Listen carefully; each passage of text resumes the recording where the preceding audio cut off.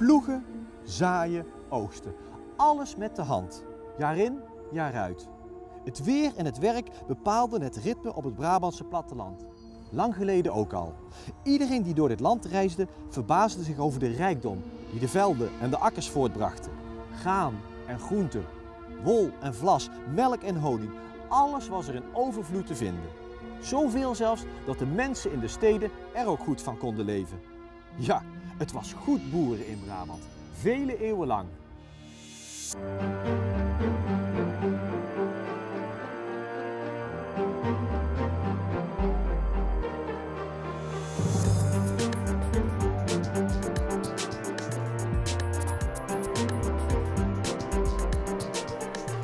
Noord-Brabant maakt een derde deel uit van het totale gebied dat Brabant heet.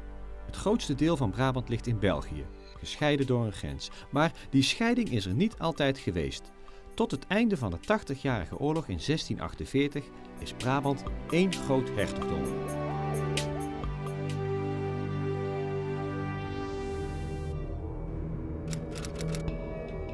De meeste mensen in het hertogdom Brabant bouwen hun bestaan op op het platteland. Ze wonen verspreid in dorpen, dank of in gehuchten, of soms helemaal alleen op het, eh, op het veld. De landbouw levert ze alles wat ze nodig hebben.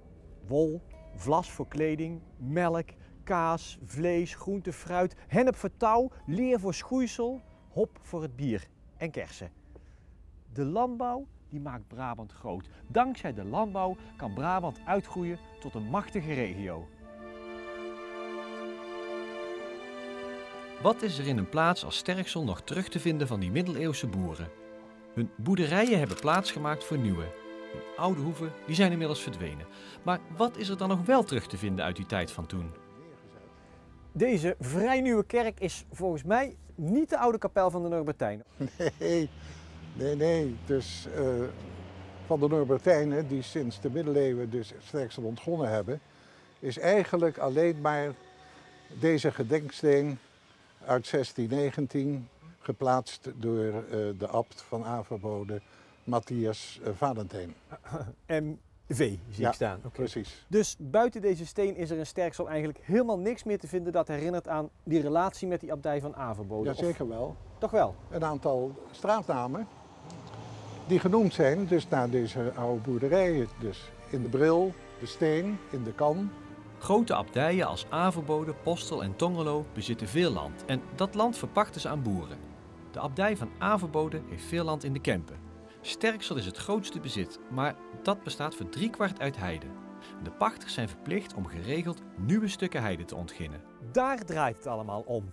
Het omzetten van woeste grond in vruchtbare bodems, dat is van levensbelang voor het hertogdom Brabant. Want er komen steeds meer mensen bij.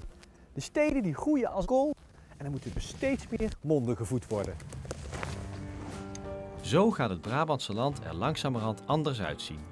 In het Waalse deel worden bossen gerooid, langs de Schelde wordt land ingepolderd en in de Kempen maken bossen plaats voor landbouwgrond. Landbouw gaat steeds makkelijker door allerlei nieuwe technische ontwikkelingen. Zo is de ploeg vertaan van ijzer en niet langer van hout, waardoor men dieper kan ploegen en er minder onkruid komt. De trekdieren krijgen verbeterde halsters, waardoor ze makkelijker over het land kunnen gaan. En dan is er nog zoiets als het drieslagstelsel. Eén keer in de drie jaar ligt de grond braak om nieuwe krachten op te doen. Het ene jaar zaai je haver, het andere jaar tarwe het derde jaar helemaal niks. Zo zijn de opbrengsten uiteindelijk hoger en hoeven de boeren ook niet weg te trekken op zoek naar nieuw land.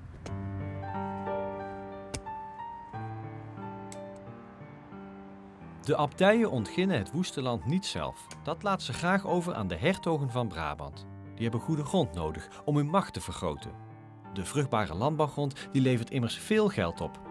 Maar het ontginnen van land is ook een bewerkelijke en kostbare zaak. En als de bodem van de schatkist in zicht komt, dan verkopen de hertogen land aan de rijke kloosters. En zo komen de kloosters in het bezit van uitgestrekte landerijen.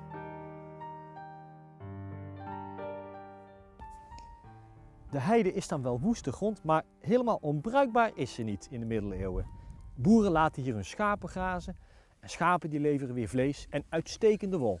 Die wordt dan weer in de Brabantse steden verwerkt tot lakense stoffen, tot textiel dus. En daar is Brabant wereldberoemd om. De dorpelingen in een dorp als Sterksel, die hebben die heide als gemene grond in bezit, als gemeenschappelijke grond.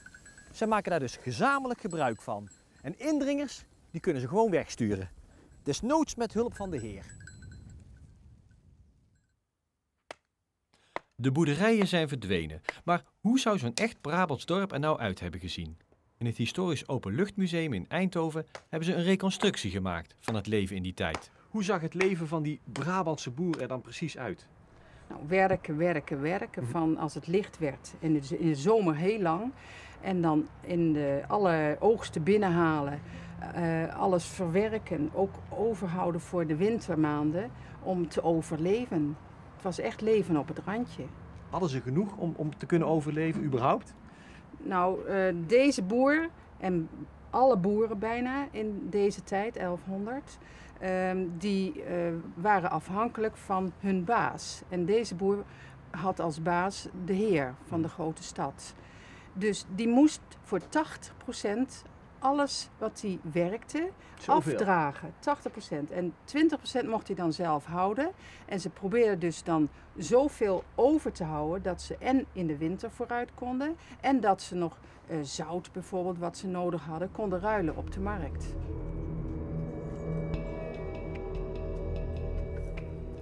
De boeren in Sterksel zijn in die tijd afhankelijk van de abdij van Averboden.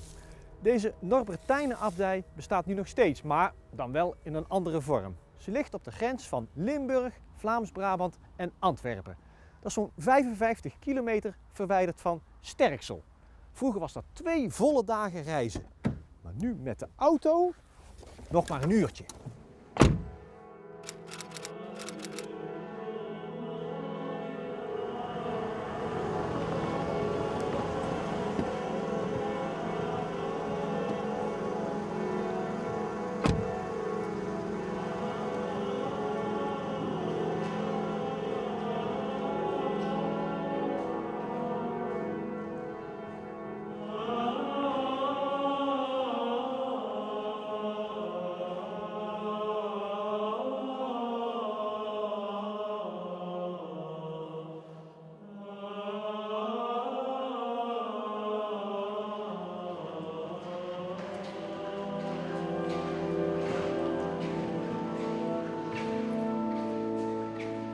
Sterksel, is toch niet echt naast de deur. Eh, waarom hadden uw medebroeders van, van vroeger eh, die bezittingen zo ver vanaf Averboden gelegen? De abdij was een arme abdij in de 12e, 13e eeuw.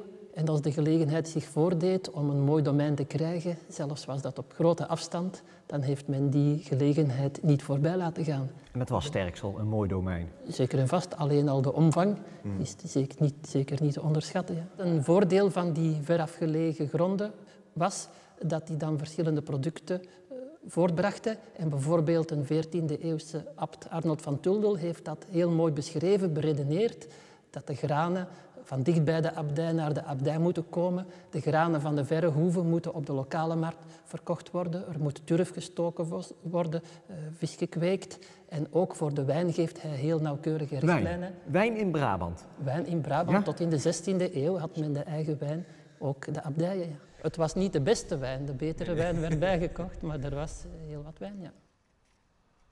De econoom ging ter plaatse die hoeven controleren en die had dan een kaartboek ter beschikking waarin de domeinen van de abdij heel mooi eh, uitgetekend, opgemeten zijn. De kaart zelf, met dan ook de bestemming van de gronden. Bij de beek eh, de Beemde, dan iets droger de akkers en dan het enorme heidegebied dat in Sterksel zeker aanwezig was.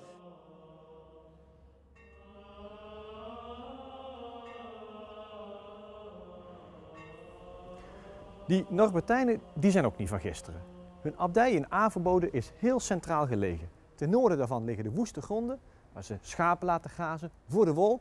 En ten zuiden van de abdij liggen de meest vruchtbare gronden, de lusgronden. En daar wordt zelfs wijn verbouwd.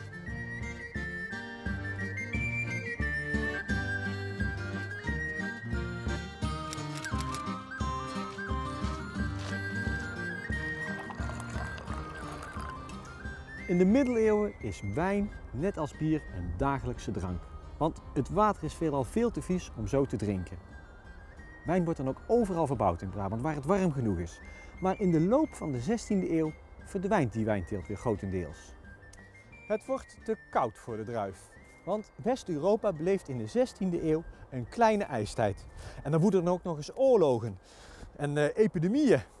De bevolking neemt af en er zijn te weinig arbeidskrachten voor de wijnteelt, die heel intensief is. En dan stijgen de graanprijzen ook nog eens, waardoor het voor boeren veel interessanter wordt om graan te gaan verbouwen dan wijn. Maar in de 20e eeuw komt de druif terug en wordt er weer wijn verbouwd hier in het Hageland. En als het werk op het land gedaan is, dan gaat de boer naar de kerk, waar hij andere mensen ontmoet. Het hart van elk middeleeuws dorp in Brabant is de parochiekerk. De dorpelingen komen hier tezamen, niet alleen voor doop, voor trouwen of voor begrafenissen, maar ook voor openbare verkopingen, om de belastingen te betalen of natuurlijk voor het dorpscafé dat er vlakbij ligt. De kerk, dat is de ontmoetingsplek bij uitstek. Iemand die dat volksleven rondom de kerk goed heeft geobserveerd, is een beroemde Brabantse schilder. Een van de bekendste schilders van de 16e eeuw is Pieter Breugel de Oudere. In 1563 komt hij in Brussel wonen. En op mooie dagen trekt hij op uit om het mooie omringende landschap om Brussel heen te schilderen. In Dilbeek schildert hij het landschap zoals hij dat ziet. Het idyllische landschap van het Pajottenland.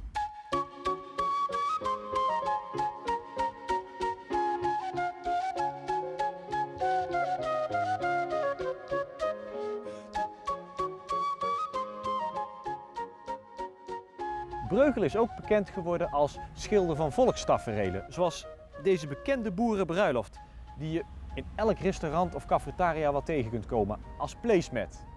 Breugeliaans, zo vieren wij onze feesten vandaag de dag. Maar was het in de middeleeuwen wel altijd feest?